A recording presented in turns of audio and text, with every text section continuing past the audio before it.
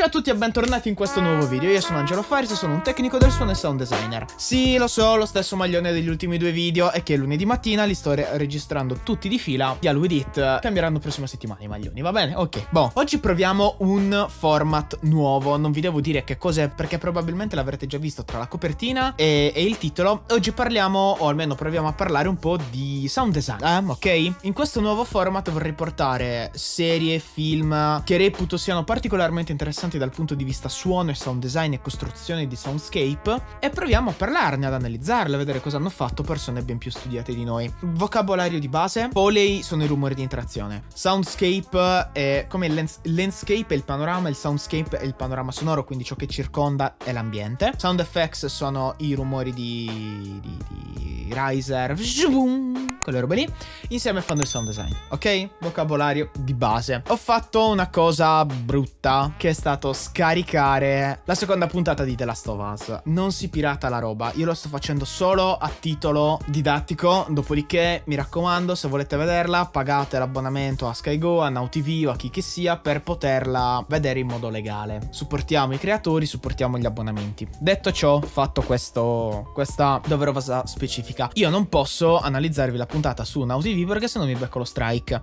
E siccome non sto facendo niente di male se non elogiare il loro lavoro, ed è pubblicità gratuita, Ok, va bene? D'accordo, quindi entriamo in sessione. Ma prima di andare avanti col video, iscriviti al canale, like e commento. Commenta dicendomi che film o serie tv eh, dovrei analizzare eh, da un punto di vista sound design. Se c'è qualche cosa, qualche film che, non lo so, ritenete particolarmente efficace, particolarmente interessante. Giù nei commenti.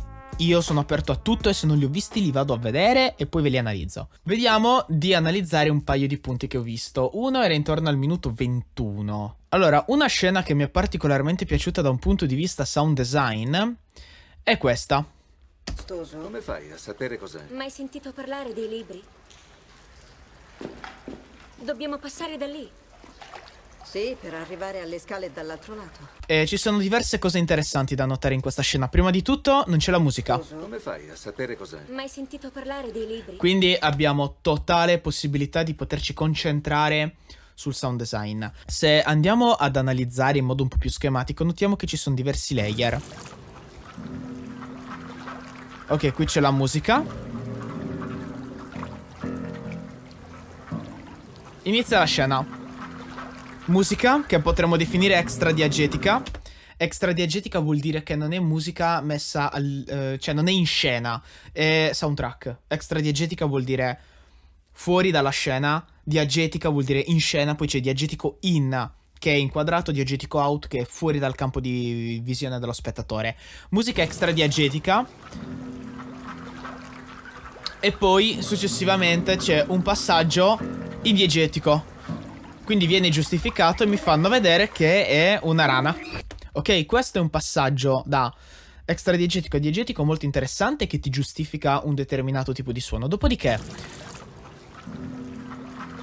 ci sono diversi layer di riverbero e di suono. C'è un layer che è quello che abbiamo in faccia.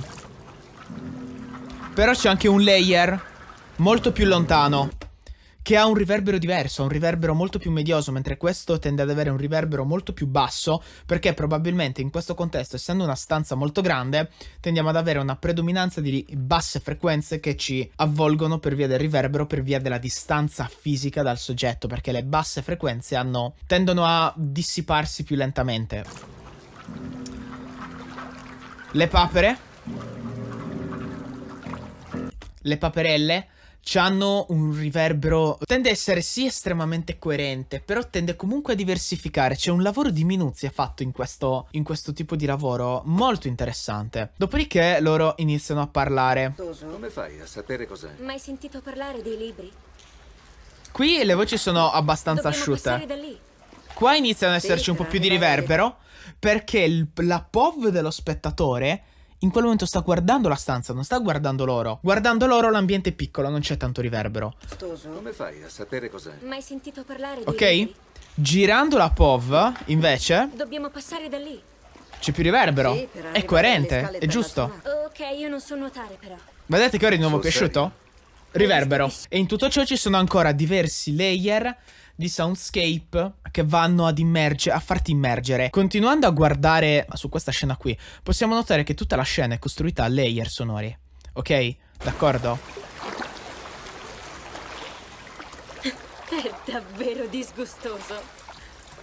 Hai un ambiente in faccia, che sono le goccioline che scendono, i suoi passi, e il rumore delle paperelle. Poi hai un ambiente lontano, che è quello verso cui stiamo andando, quindi una stanza magari un po' più lontana, sempre allagata, con un ambiente simile, ma comunque lontano e che devi giustificare in qualche modo per creare comunque questo ambiente grande in cui i personaggi si muovono, altrimenti perderesti probabilmente di pathos, perché un ambiente piccolo non spaventa, un grande sconosciuto spaventa. I layer, ragazzi, sono importanti. Faccia, medio, lontano, asciutto, medio, riverbero. E l'unico modo per creare una certa sostenibilità e una certa credibilità delle vostre scene sonore. Una delle cose che più si è detto di questa serie è che è incredibilmente immersiva. È vero, sono d'accordo che è incredibilmente immersiva, ma bisogna capire perché, per poter sfruttare le cose. Immersivo che cosa vuol dire? Vuol dire che ti tira dentro. Immersivo vuol dire che non hai elementi di distrazione che vanno a interrompere la sospensione dell'incredulità. La sospensione dell'incredulità è quell'accordo fruitore-opera per cui io in quei 60 minuti che sono impegnato sul tuo prodotto, decido di crederti. Decido di credere che quello che vedo è vero e decido di essere in quel mondo lì. Se io inizio a notare una serie di errori dietro l'altra, alla fine non riesco a immergermi. Se invece tu mi dai un soundscape così coerente, senza la musica, in modo che io possa concentrarmi pienamente su quello che sto sentendo, sulla storia che mi stai raccontando, diventa molto più efficace. Sembra una puttanata quello che vi sto dicendo. Lo so, dite sì, ma la gente si concentra sulle storie. È vero, ma le storie non devono essere raccontate in un contesto fastidioso. Perché quella roba non la fanno tutti allora? Perché richiede tempo. Richiede tempo, richiede competenze. E questo tipo di costruzione realistica, iperrealismo alla fine, perché dovete capire che nel cinema nel sound design il realismo lo tieni con l'iperrealismo, quindi enfatizzando ottieni il giusto, va a creare tutta una situazione di contesto che rende molto più facile l'immersività, l'immersione dello spettatore e quindi credere alla storia. Andiamo avanti, vediamo qualcos'altro. Prova quella. Concentratevi su, sulla, sul ronzio di fondo. Prova quella. No. Avete sentito com'è cambiato? Clean. Prova quella. Rumble. No. Allora, beh. L'ambiente è più grande. L'ambiente che ci stanno facendo vedere davanti è più grande. Non può giustificare un rumore di fondo così lieve. Ha bisogno di essere più grosso perché un ambiente grande tende ad avere un rumble più basso. Ma sono i dettagli che fanno grandi le cose. Ok, aumenta il riverbero. Andiamo, prendiamo un'altra scena. È stata curata tutta. Ok, scena all'aperto. Oh, cavolo.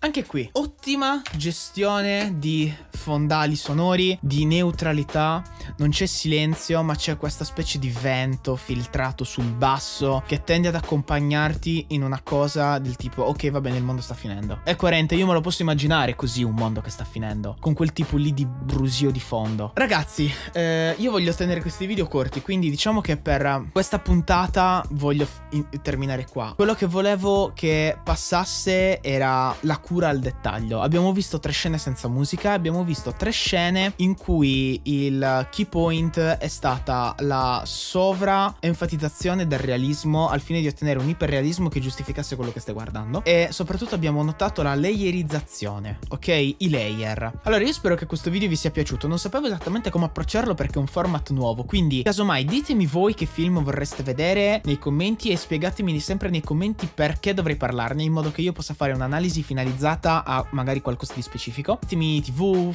serie tv, film, veramente quello che volete.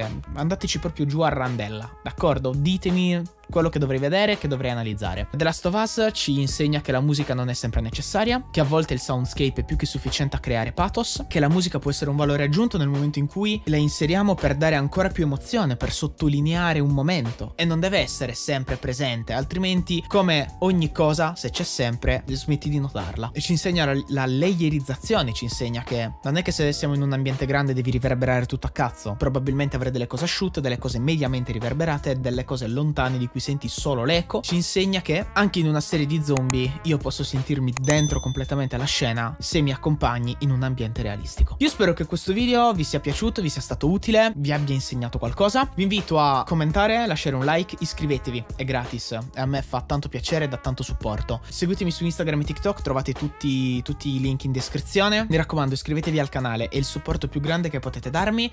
Commentino e noi ci vediamo al prossimo video. Bella!